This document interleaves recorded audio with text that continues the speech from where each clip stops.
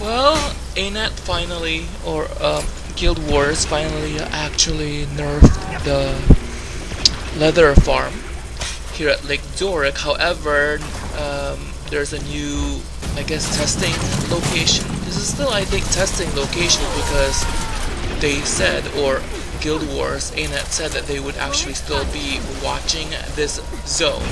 So you never know, this could actually change again and they'll maybe remove this gate right here that everyone is standing on. But as you can see, people or engineers, and yes, I, I made one as well, of course, but um, they could actually remove this bridge, and the Centaur's uh, Stampede, from what I've seen, I think spawns every 2 to 3 minutes. I personally do not find this efficient anymore, so I personally think it's over. However, um, some people are still willing to actually do this, so that's why they're here.